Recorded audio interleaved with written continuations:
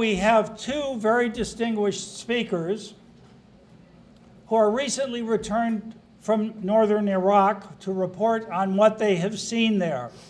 And they have slides on, on what they have seen. And the first speaker is well known to all of you, Congressman Frank Wolf, who is a champion on the issue of the right to religious freedom and the right to conscience, who sponsored during his 17 terms in Congress uh, so much legislation on this issue, including uh, the very well known Act on Religious Freedom. He is currently occupying the Wilson Chair in Religious Freedom at Baylor University and has joined the 21st Century Wilberforce Initiative as a distinguished senior fellow. I invite you to Frank's article in, uh, at Wilberforce on their website, Speak Freedom Alert, that has a title that tells you a lot The Unliberated Liberated in Iraq. I'm sure he'll tell us more about that uh, during his remarks. Now, our second speaker is David Eubank, who's a former U.S. Army Ranger and Special Forces officer and the founder of the Free Burma Rangers. There's plenty of literature from Dave out on a table on his group, and there is Wilberforce literature also out there, I believe, Frank, to talk about uh, what you are doing there. Now, I won't uh, spend any further time since we do have two speakers, so please join me in welcoming, welcoming them as they address the topic of End of Christianity in the Cradle of Christendom, a report from northern Iraq after ISIS. Please join me in welcoming Congressman Wolf. Well, thank you very much. I want to begin by thanking uh, Bob Reilly and Westminster for having this event. And Bob's been a big supporter when we brought Sister Diana over. Bob helped with housing, and so I want to thank you for all, all of the efforts. Also, I want to thank Randall Everett. Is Randall here? Randall Everett, who's the president of the 21st Century Wilberforce, the group that I work for. Randall was the one who got us started on this effort because when I joined, uh, he decided to take our group. We went to uh, this region in, in, January of 2015. So I thank uh, Randall for that effort and for the work he's done with regard to the 21st Century Wilberforce Group, working on this, on Nigeria, and, and many other areas. As we all know, uh, the Congress, the House and Senate, called this genocide. It was a unanimous vote. There were no negative votes. Then, shortly thereafter, to his credit, uh, Secretary Kerry then called it a gen genocide. The statement that Secretary Tillerson made yesterday was very powerful. There was no if or buts. He called it genocide for both Christians Yazidis and others and laid out, I think, a very good program. And so let me just thank Secretary Tillerson for his speech yesterday, bringing this administration on the same page with regard to what's taking place with Christians and Yazidis and, and others. There's more biblical activity that's taken place in Iraq than any other country of the world other than Israel. Uh, my first trip there was in 2003. We were in, in a town called Nasiriyah the Marine said, Have you been to this spot? And they took me to Ur, Ur, and they said, This was David's village. And I climbed the ziggurat, which is 2,200 years B, BC. Abraham's from there. Ezekiel was buried there. Jacob uh, spent 20 years. The, the tribes, the 12 tribes of Israel, were all, all born, born there. Daniel lived in Babylon for his whole life and is buried there. Ezekiel is buried there. Nahum is buried there. ISIS blew up Jonah's tomb. Everywhere we went on this trip, we saw biblical activity. So there's more biblical activity there than almost any other country of the world other than is Israel. In 2003, there were one and a half million Christians. One and a half million million Christians. Today, the number is 200, 250,000, maybe 300,000. And two people we spoke to said it may actually be as low as, a, as 150,000. Many or most have, have left. Those who remain are in sometimes involuntary nomads in their own land. They want to stay. They're looking for the West to sort of embrace them, to speak out. and yet they really haven't seen the church in the West, nor they have seen the Western governments really put their money, if you will, where their mouth is. Rhetoric and words mean one thing, but the support is something they have not seen. There is a phrase, as many of you experts know, in the Middle East that says, first the Saturday people and then the Sunday people. The Saturday people are the Jewish community. In 1948, the Jewish population of Iraq was 150,000. In fact, the finance minister of Iraq was Jewish. When we were there the last time on the trip, when Randall, we were there together, I said, How many Jewish people are left? They said, Maybe 10. It may be as low as four individuals. And in Egypt, you see the same thing. In, in Egypt, in Egypt, you see the same thing. The Jewish community in, in Egypt, the Jewish community in 1948 was 80,000. When we were there a couple years ago, we met with the leader of the Jewish community. She said, "Mr. Wolf, there are 20 of us. We're old, older, elderly individuals, and soon we'll all be be gone." And now we understand, after a meeting I had yesterday, maybe the Jewish community in Israel is roughly around 10 or 12 in individuals. We see the same thing taking place now to the Christian community in, in, in Iraq. These are my own personal views. We were in Sinjar City. We were in Sinjar Mountain. You may have seen three years ago at this time the relief that was dropped to the Yazidis that were up on the mountain. We went to Bartella. We went to Karakush. We went to Nimrod. In the Bible, uh, we saw what ISIS has done to the, to the city of Nimrod. We went to Ur Erbil. We went to Dahuk, and then we went, Marty uh, Hudson got us in to uh, Mosul. We visited a church in Mosul and talked to, to some of the people. We talked to Christians. We talked to Yazidis, the Syrian, Chaldean, the Catholic community. We talked to the international community, the UN. We talked to our embassy. We talked to Kurdistan regional government officials. We then went in IDP camps and talked to real people about what was going on in, in their life. There were many, many sad stories. We have a report here. I think there should be enough that everyone can take, but one Christian woman was sold 20 times by ISIS. 20 times. It was painful to even listen. I had to leave the meeting in the middle of the meeting 20 times. And now she's almost a prisoner in this one room, not being able to go back to her own, own, own community. We, we met with, in, a, in an IDP camp, a Christian from Mosul who said he can't go back. We met with another Christian family. He, he was a lab tech technician. His father was on the floor dying under a blanket, and he's afraid to go back. And yet they want to go back because their faith is very, very strong. But they want to see what will the West do. In every meeting, when we said what would we could do, the number one issue that they asked for, in addition to prayer, was protection. Protection, protection, protection. They wanted security. They wanted to be able to return home. They wanted to be able to have somebody to protect them. They wanted security when they go back. So where are we now? We talked to the Yazidis, and I won't go into it. It's in the report. We went into the the religious community. We talked to Baba Sharis, the head the religious leader of the Yazidis. We talked to the political leadership of the Yazidis. We talked to everybody that we possibly could. Marty got us into places. Other people there got us into places that, quite frankly, not many other people have seen, except maybe for Dave, Dave Eubank. What are the recommendations in order to save, to save Christianity, and as Bob said, in the cradle of, of Christendom? There are several. One, we need the quick passage of Congressman Smith and Anna Eshoo's bill, H.R. 390. So when the Senate comes back, it quickly passes that. That puts money that's currently available, puts it up front, and gives the State Department and different agencies and AID the ability, the money to do something. Secondly, I think this may be the most important recommendation is I believe we need fresh eyes on the target. In 2005, when I went to Iraq with Dan Scandling, my chief of staff, we were in Tikrit. We were going in a hospital, and we had guys guarding us. And every time they went in a room, they put an AK 47 into the room and into the patients' faces. And finally, I said, This is crazy.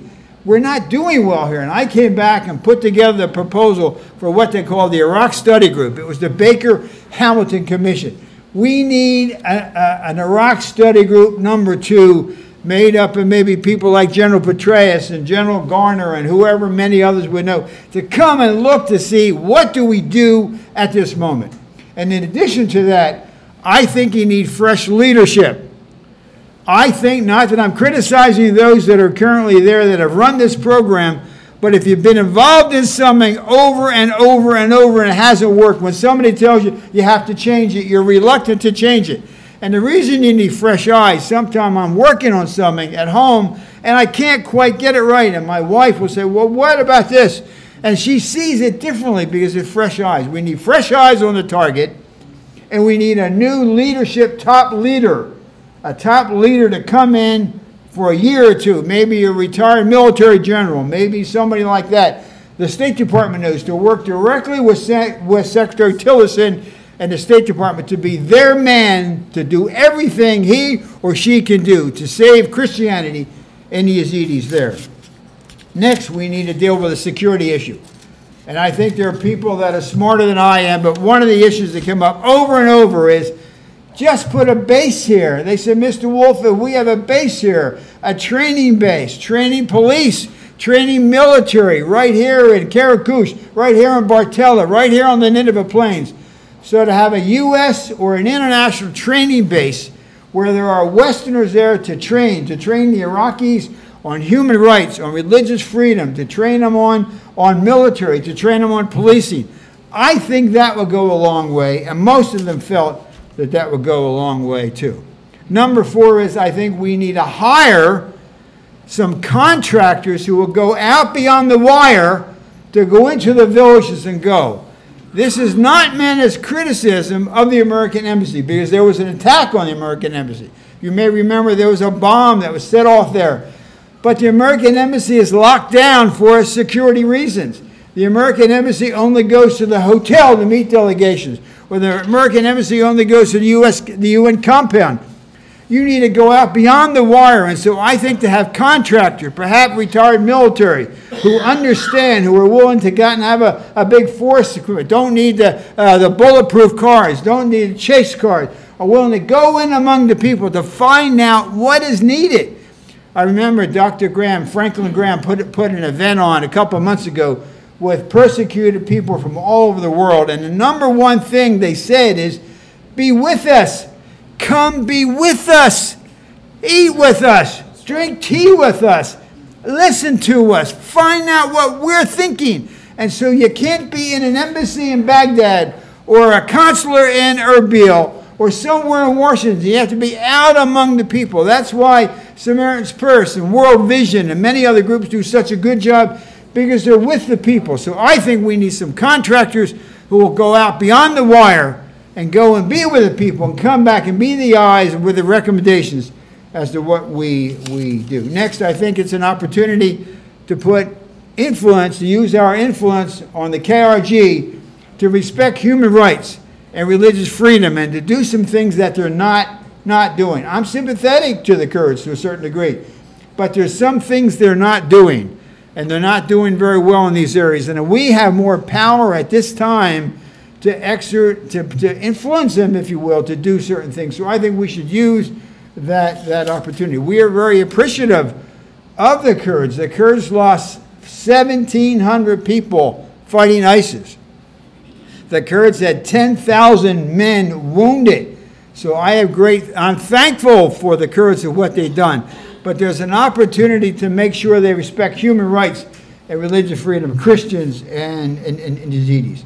Next, I didn't know this very much. Almost all the meetings we went to, people talked about the land bridge or the Iranian crescent. Iran, we would go through checkpoints and it would be by Iranian uh, uh, militias, some paid for by the Iranian government. Iran is trying to get a land bridge to go from Iran through Iraq, and Baghdad right now is heavily Shia, and go from there into Syria. And we know that Hezbollah and Iran is working with Assad, and from there to go to a Mediterranean port. That way you can bring men and supplies and weapons and equipment from Tehran into Iraq into Syria, into to, to the Mediterranean, to Hezbollah, putting, I believe, a direct threat against Israel, but also a direct threat against the Western government and a direct threat against our, our own government. The last recommendation is the different groups need to come together. When you sit down with them, sometimes they have differences of opinions. And as the Bible said, two are better than one. When one falls down, the other can help up. The Christians and the Yazidis and the other religious minorities need to come together with a unified positions, not on everything, but on some fundamental things. And then the diaspora, which is here in the United States and other other places, needs to be with those who are on the ground, but there needs to be a unity on some of the more fundamental issues. The last thing, and then I'm going to show some quick slides if Dave, Dave can do this. I am both optimistic and I am pessimistic.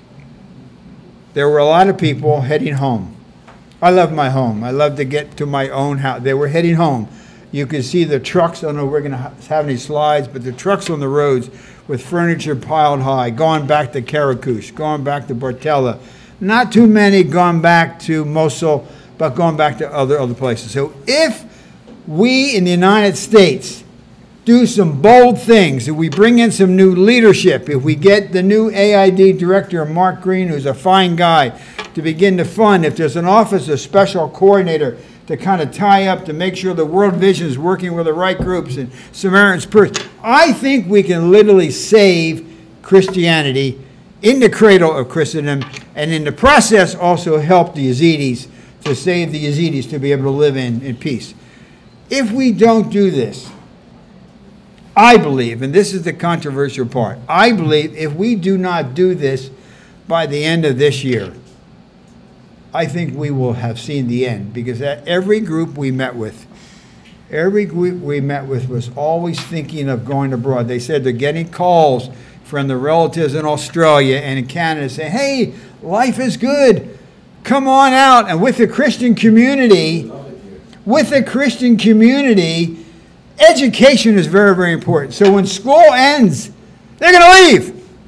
And so now they're looking to see what does the United States do. So by being bold, putting new leadership in, passing Chris Smith and Anna Eshoo's bill, putting the things in with regard to protection, a training base, and things like that. I believe we can save Christianity into critical Christendom. And so the message is to, to the church. Many of the Christians feel they feel they've been forgotten by the church in, in the West. As we talk about refugees helping, it is important that we help those who want to stay also. It's fine to help a refugee that comes here. That's what this country does well. But let us also help the refugees that want to stay so that we can save Christianity in the cradle of Christendom so that they'll be there for years and years to come. I think it's good for them. I think it's good for the West.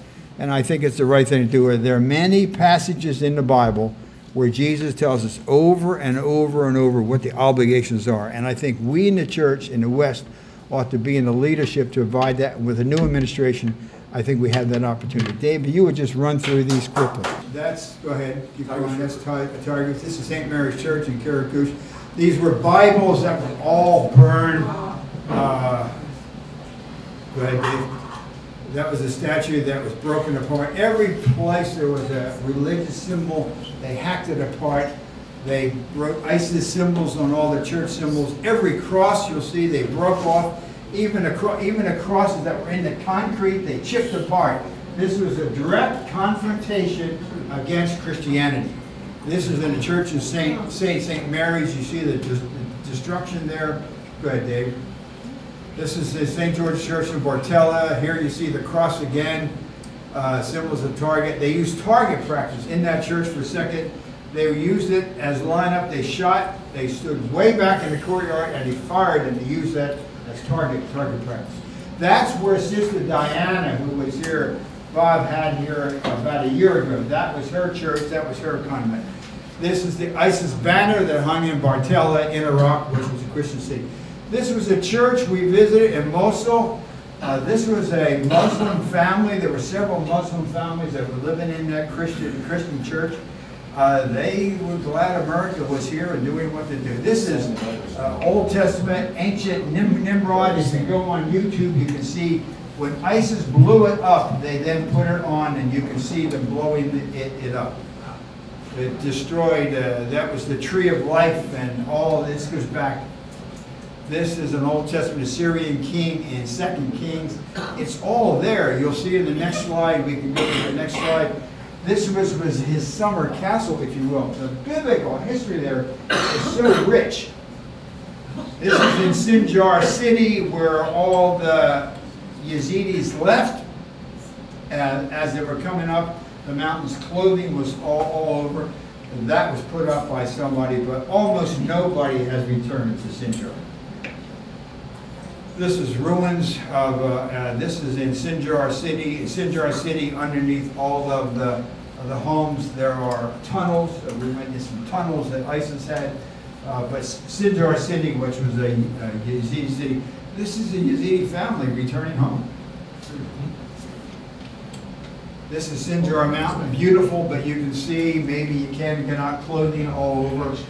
Most of the families are now living on top of Sinjar Mountain, which gets very cold in the winter, but they live in tents and they're waiting for relief, they're waiting for help.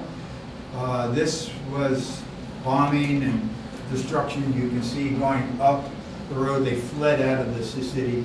And with regard to that, thank you very much for coming, Bob. Thank you.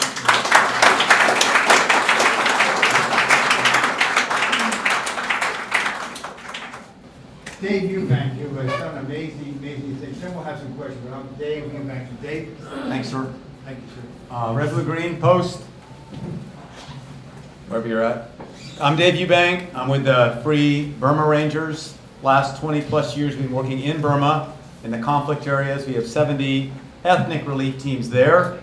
But the last three years, we're invited into Iraq and Syria to help people under attack by ISIS. So tonight, uh, mostly I want to give glory to God and thank God that He changes hearts. That is the best policy of all, and it's a supernatural one. And that is what's going to change the Middle East. It's what changes us. And He did two things for me that is sure. He changed my heart to love the Iraqis. I didn't even know who they were. I was a soldier, Ranger, Special Forces officer, and I fell in love with the Iraqis. That is the power of Jesus. Second, I don't hate ISIS. Um, I got shot there. Some of my best friends were killed there. My translator was killed. I saw many children shot in the head. Some people I held in my arms and they were shot in my arms. And I don't hate them. I don't hate ISIS. I can pray for them. And that is Jesus only. That wasn't me. So that's, if I can say nothing else tonight, that's what's going to change and that's what has changed the world. But I'm doing none of this alone. We bring our medics and other people from Burma to help. And I want to say the U.S. government has done a great job with air support and supporting the Iraqis. Our, um, the Iraqi army itself is very brave, paid a high cost, and my family goes with me. And you guys come on up.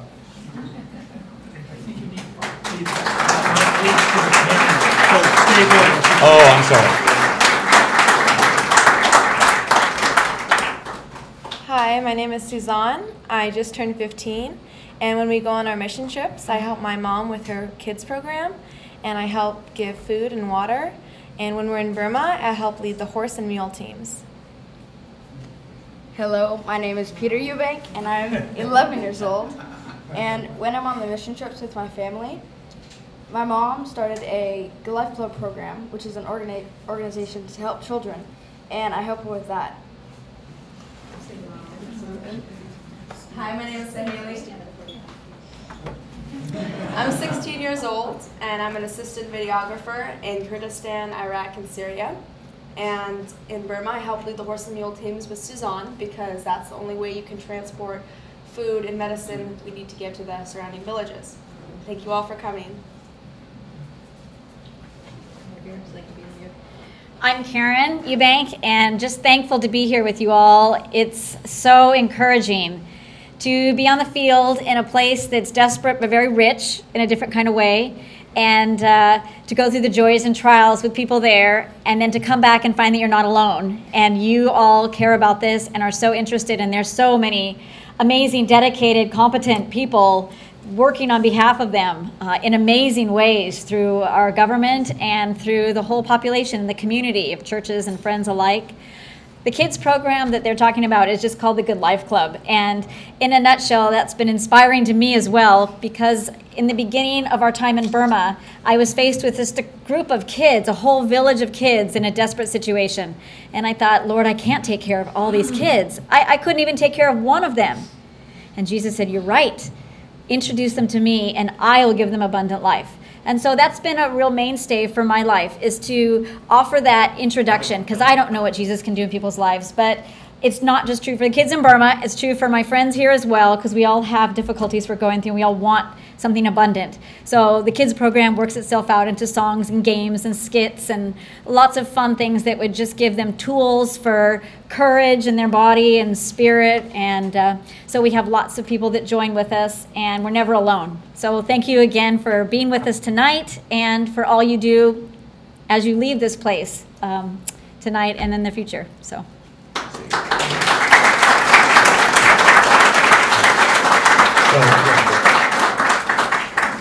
We, we go as a family since they've been born, and the people in Burma would say, as soon as our kids are born, bring them to, with us. And you know, there's families in every conflict area. And when I first went to Kurdistan with my kids, the Kurdish defense minister said, "Oh, you brought your kids, your most precious thing. We'll give you our most precious thing, our country." And that's been true in Sudan. It's been true in Burma because we're all in this world together. Everybody counts. And so they generally, we try to keep them out of direct fire and back where people are fleeing, but where they can help. But they've been a great blessing. And I, this is not really what I planned to do. I hope it's okay. But why don't you come here, honey? When we were in, we first got involved in Kurdistan about three years ago when we were invited there. And at that point, if you all remember, ISIS had been stopped about 23 kilometers from Erbil. They were pushed up in right below Sinjar. They actually had 90% of Sinjar town. And so my family would be up on the hill, and I'd be down at the front line with my medics. And up in another place called Bashika, there's a monastery, Mar Mattai, St. Matthew's Monastery, since 400 AD. And there was a village below it, and about a mile in front was ISIS. You could see their flags, and they'd shell and shoot, and the Kurds were holding them back. But the Christian monastery is up on this hill. We were there also. And on one Sunday, we walked up the hill to the monastery, and after church, which is Syrian Orthodox, a woman was singing this song. And it was a beautiful song, and so I videotaped it. And my daughter learned it on a trip to Syria, which is another story. And it's in Arabic. But the words are this Jesus set me free, Jesus set me free, He gave His life for me, Jesus set me free. And I want Sahale to sing in Arabic because the congressman's talking about these are some of the last Christians left in the Middle East. And this woman's singing this. And we're are there for the Christians, we're there for the Muslims, we're there for everybody. But this is our family that's there. And so I would like you to sing that song, honey.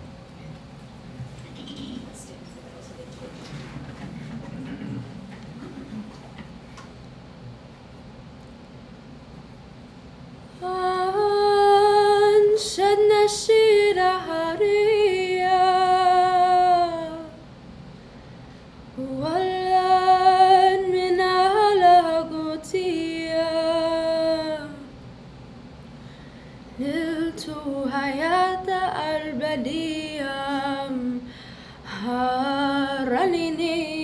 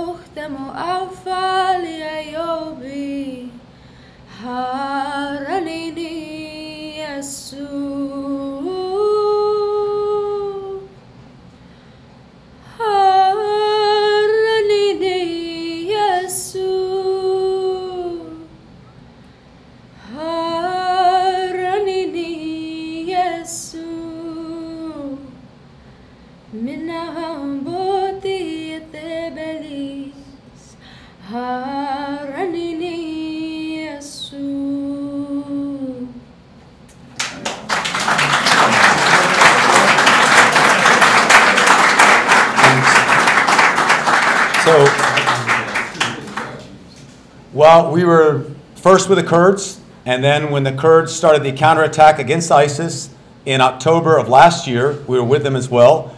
And they pushed out and made a new de facto border. And the referendum is going to be following up on that. And I agree with the congressman. This is a good time to show our support to the Kurds. They have a right to their own country. However, they need to take the time to include everybody. And Christians and Yazidis are very much caught in the middle between the Iraqis and the Kurds right now. So I think we have a good position as friends with the Kurds to thank them and support them, but also encourage them to take the steps necessary, not only for the freedom for the Christians and Yazidis, but for good relations with the Iraqis.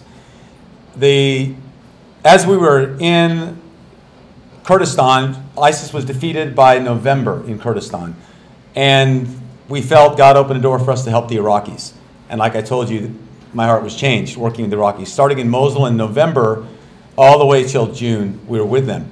And our job was my wife and kids to be back at the Kazi collection point, handing out food and water or taking care of patients. And myself and my team were at the front. And we faced ISIS a lot in, the, in that time. We started, the brigade I supported started with 105 BMPs, that's armored tracked vehicle, with about a 10 man crew. We had eight when the battle was over. And we lost almost all our tanks. One of the battalions I was with at the end of this mission, which was June, but two months ago, we had 27 men left. And that is a price the Iraqi army has paid. The Americans are providing air support, but all the hard fighting is done by the Iraqis, and they're brave. And one thing that struck me the most about the Iraqis, these are mostly Shia soldiers, they'd risk their lives to save Sunni families who were running. Most of these Sunni families at the end were ISIS families. And I asked them, why did you give your life? And some of them died saving other uh, Sunni families. They said, if we don't save them, we'll be fighting forever in Iraq. And so, one thing we've tried to encourage our government, the U.S. government, to do is stay close to the Iraqi army. They know the cost. They have, I think, the right idea how to go forward. While we were there, we saw ISIS killing families, maybe a family or two a week inadvertently. But by June of this year, they began a slaughter of families. And a fatwa came out from the, from the ISIS, especially the Chechen ISIS from Russia. These are Muslims from Russia who came and joined. Very sophisticated, very good at what they're doing. Anti-aircraft systems, anti-tank systems. They were on the first bridge in northwest Mosul, wiping out anybody who tried to come. But when families began to leave, they sent out a fatwa, which was this. Any family that leaves, even your own child, kill them. Don't let them fall in the hands of the Iraqis. And so I, I want to show you a, a clip. We, we were helping people. You got rescue one, honey? You all may have seen this. But this is, stop, pause for a second, honey. All right. On this street, there's about 70 dead people. These are all dead bodies. And then we, and we saw this, and there was about one, one or two little kids still alive, hiding in their parents' mother's hijab, the black covering, and we saw one man alive. And we prayed, how can we help them? Because this street was totally controlled by ISIS, and they'd already destroyed armored vehicles and many, many people. And we prayed, and I contacted the Americans. I'm an ex Special Forces guy. There's a few of y'all in here. Thank God for our military. Anybody doubts the courage of our military? You know, courage isn't just facing bullets. For a lot of us, that'd be the easy thing. It's risking your reputation and your job, isn't it? That's the tough one. And talking to this American general, he said, okay, talk to the, the, the Kurds, because we got, I mean, the Iraqis, we got to do this right. So the Iraqis and Americans coordinated. They dropped this smoke, 93 rounds of smoke. ISIS is right behind this wall on, on higher buildings. And then an Iraqi tank crew volunteered, one of them, to go out. These are two volunteers that came with us. And my, the guy who filmed this is a, from Burma, my pastor named Monkey, and he's filming this whole thing. I'm running out to get this girl. Okay.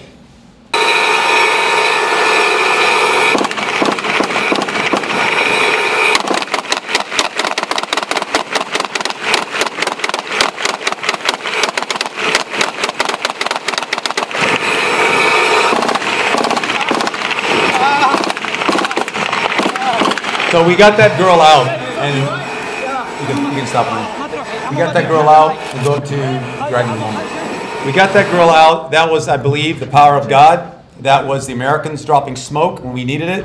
It was the Iraqi tank risking their life to go help, and, and our team helping. After that, we got that girl out, and we went back to Kazi collection point. I called my wife and said, honey, I got a little kid, the only one not shot, but she can't speak. She's been hiding under her dead mother. I, she's going to need a mom. So after we'd given her an IV and given her a lot of water, we handed over to Karen. I just found out this week that she'd been reunited with the only living member of her family, an aunt. And it's the first time I saw her smile. I'm sorry I don't have the photo of her smiling, but she's okay. But the next day, in the same ISIS compound, but now in more in their area, we were told there's more people alive, and a woman who's been shot in the hip and has a compound fracture saw through the cracks outside where you rescued that girl, said, Please rescue me. There's five of us here alive. And I was like, No way. We cannot get inside their compound, inside ISIS compound, and get anybody out. We'll all die. And in Iraqi, so I want to make this point really clear. The first day, God's power, the American smoke, and the Iraqi tank, I made the plan, I led the mission. The second day, an Iraqi private named Zuhair, he made the plan, he led it. In fact, he told me when I was terrified, that's the only word I could choose. I ain't gonna go in there, man. We're all gonna die. And he said, I will go by myself and die. I will not leave anyone alive in there. He said, You're special forces, you guys can do anything. I was like, Man, this ain't a movie. but um, I'm also 56, I can't do like kung fu flips or anything. So, but we prayed. And one thing I loved about the Iraqis, everyone I met, they believe in God. And so we could pray together. Him a Muslim, me a Christian, and say, God, what should we do? Well, the Iraqi army wouldn't let him go. And we prayed again, and the Iraqi commander said, okay, you get eight hours off. Anybody wants free time, eight hours. And so one lieutenant, two sergeants subordinated himself to this private, and so did I. And four of my team, we went and we are pulling people out, and ISIS is very close to us. And I know this is not probably supposed to be religious talk. I don't know how else to say it. But we're inside an ISIS building. You can hear them talking outside. There's 200 of them. These are Chechens with ZSU 23s, anti tank, machine guns, everything. And it's a blown up Pepsi factory, so there's a lot of noise. And I thought, oh God, you got to be kidding me. But that's when I remembered the power of prayer. And I know people like y'all are praying. And so I said, in Jesus' name, ISIS, you can't hear us.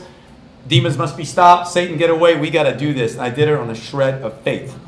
And we went in there. We rescued four people. And then there was a woman right there. She's behind a truck. And with four other shot people. Her third day, she's been shot. No water. Three days. And she looked at me and said, with just her mouth, because she couldn't make a noise, help me. And I thought, no way. If we step out there, the four people we're trying to save, they're going to die. We're all going to die. And I, but then I prayed, remember, God could do anything. And I want to say this God can do everything, anything, including what needs to be done, sir, about U.S. policy. Even though people may tell us, no, no, no, no, we can't do this. If God's in it, it can be done. And, and so I just prayed, Lord, help us. And I prayed with Zuhair, and he looked up and he looked at the wiring, and he said, we couldn't make noise. We cut the wiring down, we tied it. There's a little girl, she ran it out 20 meters, ISIS shooting at her because they could see her, threw it to this lady, she tied her around her wrist, and the way her angle was, ISIS couldn't hit her, and they can't see her. So go ahead and show that. So we're just dragging her. All these are dead bodies. This guy in a wheelchair dead right there, shot. As we got her closer, she's saying, God is great. Thank you, God, and thank you, you guys didn't leave me.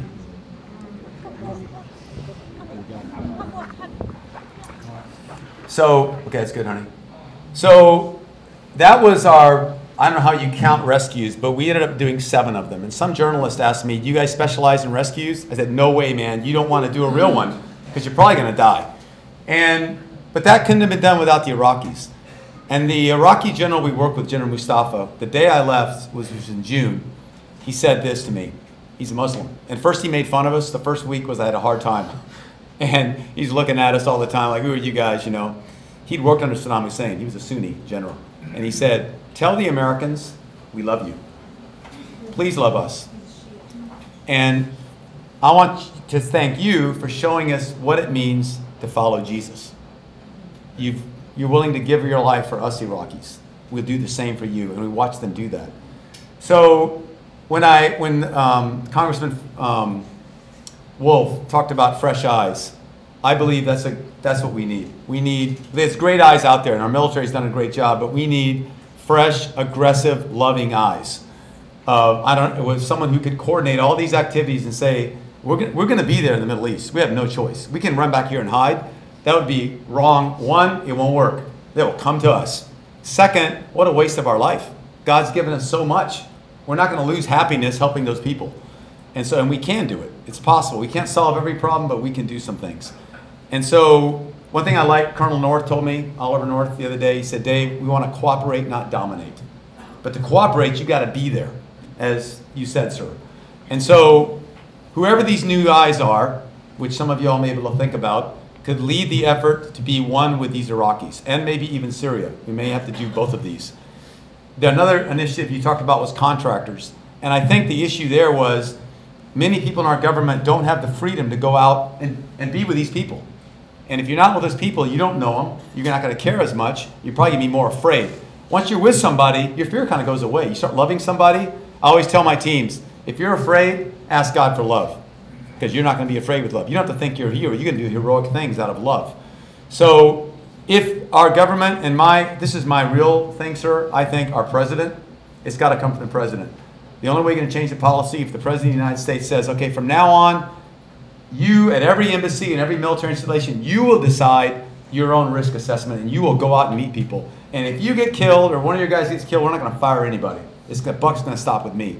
We're going to engage. And that's where I think it needs to come from. Otherwise, the biggest fear, I think, isn't people are afraid people are going to die. People are afraid to lose their jobs. That's my, my, my feeling. And so we, if that doesn't happen, then we're going to have to have contractors or somebody who can go out and engage. In the meantime, there's people like Samaritan's Purse. There's many NGOs that work behind the front line or near the front line, some in the front line, that would be very happy, I know we would, to have a direct line of engagement with our government to help any way we could. We can't do the powerful things the American government can do, but we can help. So I agree with that. The Hashdi Shabi, I'm trying to follow your outline, sir. The Hashdi Shabi are uh, the militias that have stood up. I think in one sense, they're like any militias that would grow up in America if we were overrun. There'd be some good ones, there'd be some bad ones. We, we work only with the good ones by the grace of God. I always approach them like this God sent me. Number two, I'm an American. Number three, sorry for anything wrong we've done to your country. We're here at your service. I always became friends with them.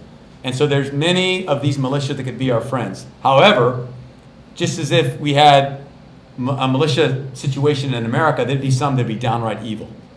And if you had a foreign influence like Iran, they wouldn't just be evil, they would have an agenda to drive. And we, if we think we should be invested in Iraq, they know they have to be. And so right now, it's an unavoidable contest. And I don't think it needs to be one that you got to win with bullets. I think you're going to win it with love. But you can't have love without presence. And so I want to support you, sir, in all your um, suggestions. And I think I, I, would like to stop here, except, I, except for one little story. My drive, one of my drivers in, in the Humvee I had was a, was a Muslim named Muhammad. In April, he gave his life to Jesus. The next day, he went to Samaritan's Purse Hospital. He said, Oh, there's lots of these Jesus people here. And a month after that, in May, on May the 4th of this year, the unit I was with launched an attack in northwest Mosul, and we ran into a buzzsaw. We lost four BMPs right away. We lost two tanks, 30 guys killed. Civilians start running. ISIS starts gunning them down. We try to help the civilians. Our guys start getting shot. My Humvee got shot to pieces till I couldn't even move. Lost power, transmission. The guy in the machine gun hatch had to come inside. And my driver, Muhammad, said, I'll go for help. I said, No way, man. Let's get a tank in here to help us. He jumped out, ran through a hail of fire, a real hail of fire, got another Humvee, came back. Meanwhile, there was civilians who'd been shot. We pulled them into our Humvee. One little girl, about nine years old, shot in the eye. Her father shot twice, shot again as I lifted him up. He's bleeding to death. We, are trying to stop the bleeding. My medics are inside the Humvee. Humvee can't move. We're in between three buildings. They're firing us up. Muhammad drives back with the new Humvee, parks on the safe side, but in the meantime, ISIS has moved around that site. They're closing in for the kill. And Muhammad jumps out of, my, out of his new Humvee. Our Humvee door opens. My translator, Shaheen, steps out. Some of you all know, like Chris, you met him. He was shot dead. Not, he didn't die at the minute. Shot in the stomach, fell down. We couldn't transload the, the wounded people. Muhammad grabbed Shaheen and was shot eight times. This is the new Christian. Eight times. One, two, three, four. M16. Uh, how he lived, I don't know. Five, six, seven, eight. Did not fall down. Picked up Shaheen, drug him into the Humvee. And if there's a word, greater love hath no man than this, and he laid down his life for his friends, it's that. Because here's a Mus well, he was a Muslim. Here's an Iraqi helping a Yazidi. Shaheen was a Yazidi. And actually, Shaheen hated the Iraqis. And he gave his life, though, that day to save Iraqi family members. Shaheen died 10 days later in the hospital, my, my translator, the Yazidi guy. Muhammad, I called two weeks later. We were, that, that was at 10 o'clock in the morning. That was the beginning of the battle. Well, I got to finish the story. We finally got a tank down to us, blasted away at ISIS, pulled our vehicle out. That was 10 in the morning. That was the beginning of the day. It just kept going on and on and on until we left in June. But two weeks later, I called Muhammad. I said, Muhammad, how are you? He's in the hospital in Baghdad. He said, I'm very happy. I said, How are you happy, man? He said, Jesus in my heart. And so, what I found, you know, I prayed that would happen. And I haven't seen it happening in droves, but that's God's business. A friend of mine reminded me don't be mission focused, be kingdom focused. It's God's business. But I've learned to love the Muslim Iraqis, and I haven't told you about Syria. We've been there a couple times. But I think I'm going to stop right now um, for questions for the congressman or for myself or comments. But thanks for listening.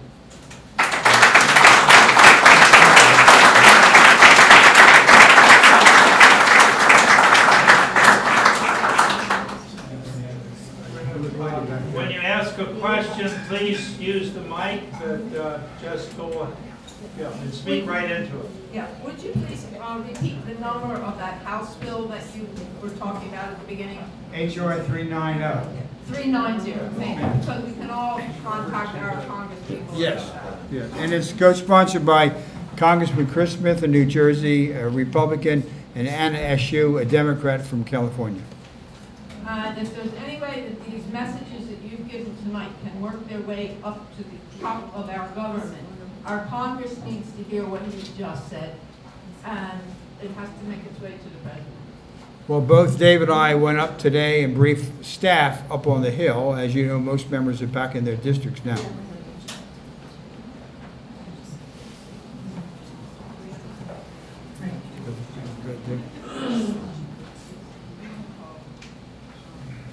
Thank you both very much.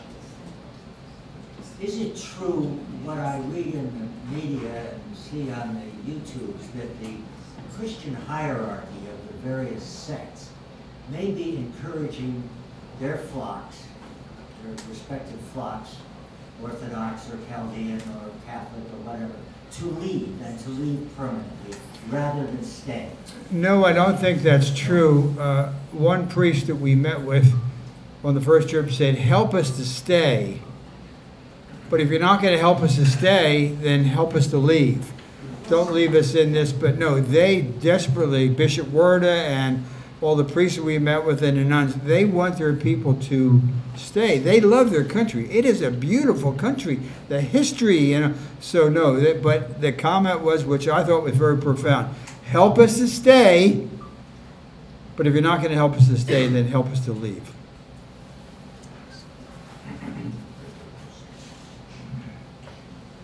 So, uh, you know, I mean, it's, it's accepted that Israel is home for Jews. In many countries in the Muslim world, like Saudi Arabia, it's, it's a Muslim country. Why can't we, for example, have a place like Lebanon, you know, a place where, a safe haven for Christians to come to, maybe? Well, the Christians in Iraq love their country. They they they want to stay, and so they don't. I mean, some have moved to Lebanon as a way of getting out of danger, but they want to stay. They love their country. Uh, some of the they're highly educated. Uh, a number of them are doctors. Uh, the one gentleman's we was in a tent. He was a, a, a PhD uh, in Mosul at the uni- university.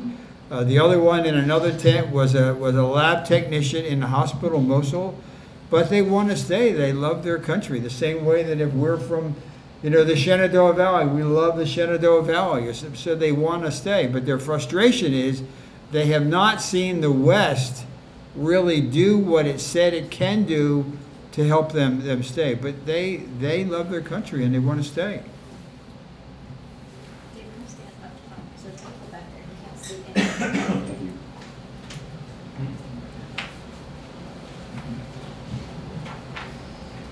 Sir, thank you very much, both of you. Uh, Do you have thoughts on how to wake up the church to uh, the needs of persecuted Christians in Iraq and other places? Uh, I'll, I'll do the first part, sir. Prayer. because the only thing that's going to last is a, a spiritual impulse, not a human impulse. The second is, I would say, be bold. Bold in things of Jesus, humble in things of humans. Go for it. There's nowhere in the Bible that I can read that says be safe, hold back. This is the line, you can't cross it. It's always go. Go forth to all the nations. Be bold. And so God has blessed our country so much, and is, I believe will keep blessing it. We obey Him and keep going. And so I, my message to the church is, ask God what to do. He's going to tell you.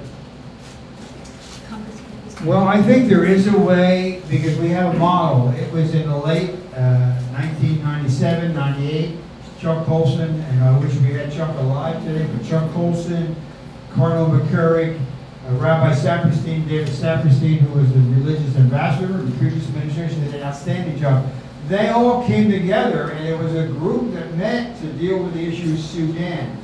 Many churches in those times, in the month of November, would have a, a, a religious freedom Sunday. They would bring in dissidents from China, from Sudan, and the church was alive on fire, if you recall. For some reason, it's dissipated. And so I think there is a way. There are so many passages in the Bible telling the church what they're to do. To stand with your brother in Christ, those who are in prison as in prison. Luke 4, read about it. But I think it needs to be, and so we don't have a Colson, we don't have Cardinal McCarrick. Bishop Wuerl's been very good, Cardinal Dolan's been very good, Russell Moore's been very good. But if every church had a Sunday where they prayed for the persecuted church and brought in people from China, brought in people from Sudan, brought in people from Iraq. And, and, and secondly, adopt uh, churches and adopt uh, Christian communities and, and, and families in these places.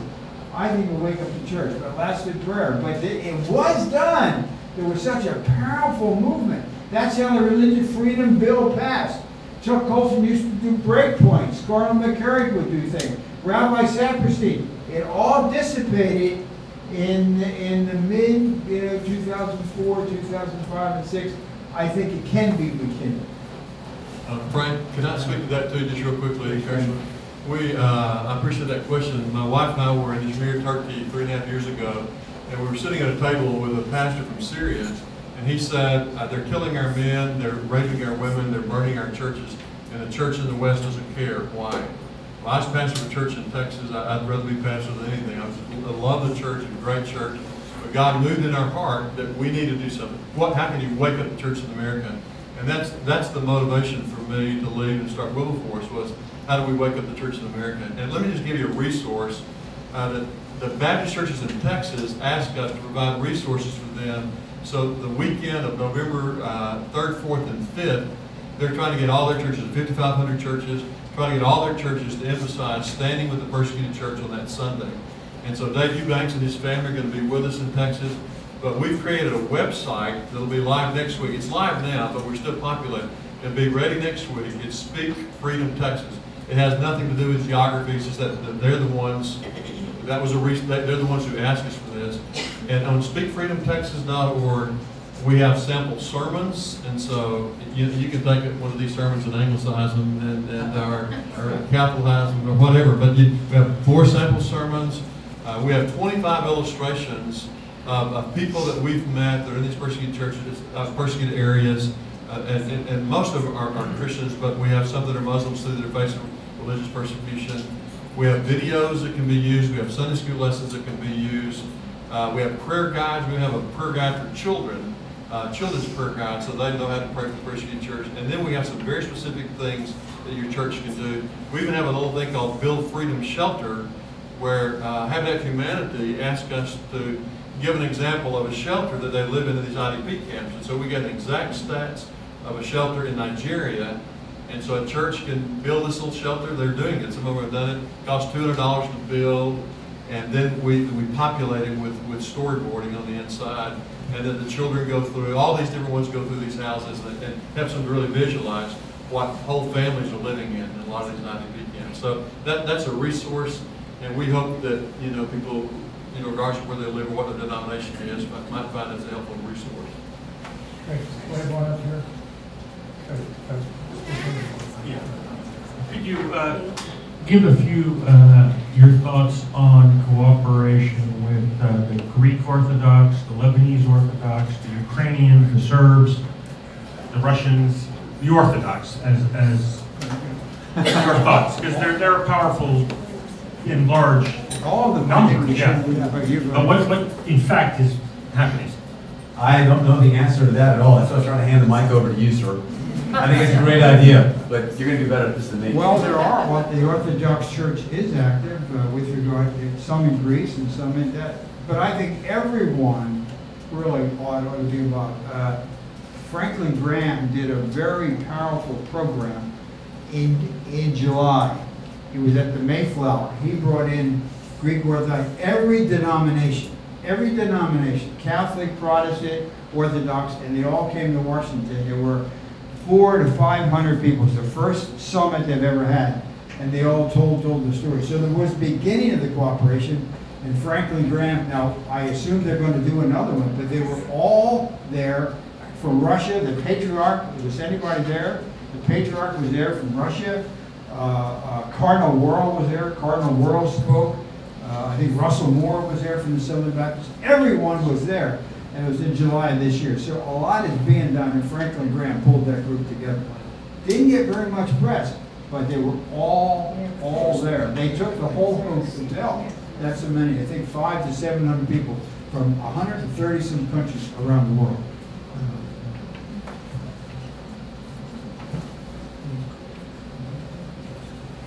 I- I- If I may just make a comment, uh, Frank, the um, Westminster Institute, of course, we're housed here with Barnabas Aid, which is an organization that helps persecuted Christians and is also in the field in some of these places, brought together a group of bishops and ministers uh, from the Middle East, particularly Iraq and Syria, to, to work on the kind of cooperation we were talking about, and the biggest problem they faced, you, you just touched upon in Franklin Graham's gathering, that they didn't get much publicity. And one of the messages to these bishops and others was, could you arrange amongst yourselves to raise the profile of what you're going through uh, so that it does get that kind of publicity and attention that would call forth a larger response from here. Do you have any? No, I think you have to do that. I was disappointed. I mean, here Franklin Graham, and you know, the hospital, uh, I saw one little thing about the hospital. It was the most impressive thing I've ever seen.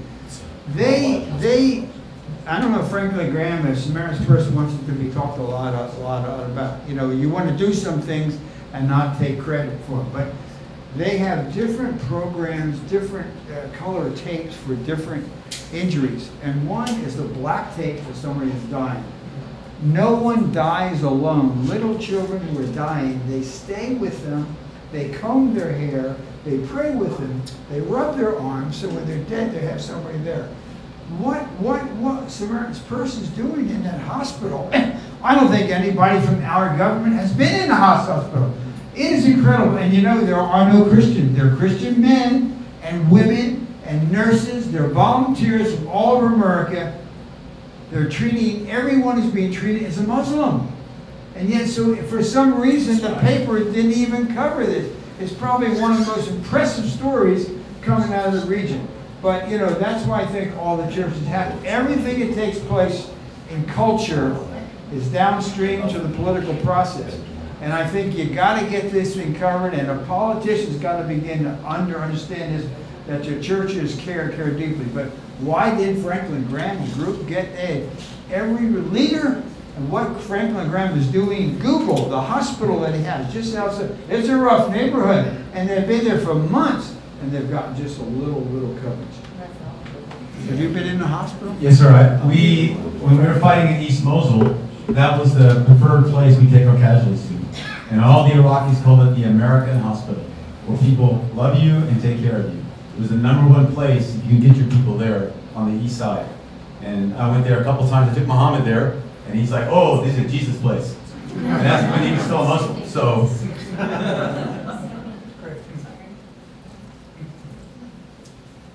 Well, I want to uh, thank Congressman Wolf and Dave Eubank. I must tell you that um, their presentations and, let us say, their characters makes a lot of sense of what an Iraqi said as the American troops began leaving. And an Iraqi was said, well, now that the American troops are leaving, uh, what do you think of them? And his response was, you're better than your movies. That's because they met people like Dave Eubank and, of course, Congressman Wolf, uh, because what they see there that they don't see in the movies is the finest character of, of America and our country. God bless you both. Thank you. Thank you all for coming.